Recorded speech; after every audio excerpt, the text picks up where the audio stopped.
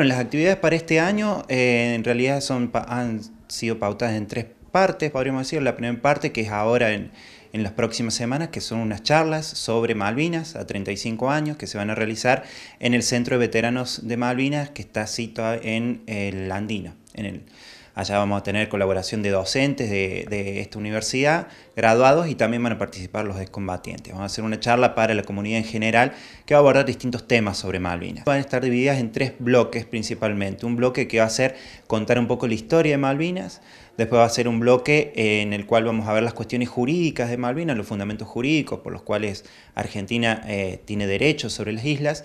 Y después vamos a ver una parte más de actualidad, digamos la situación de Malvinas en la cuestión actual, desde el punto de vista geográfico, desde el punto de vista estratégico y de recursos naturales. Por último, Juan, eh, para la gente interesada en participar de las charlas de la semana próxima, ¿dónde pueden obtener la información?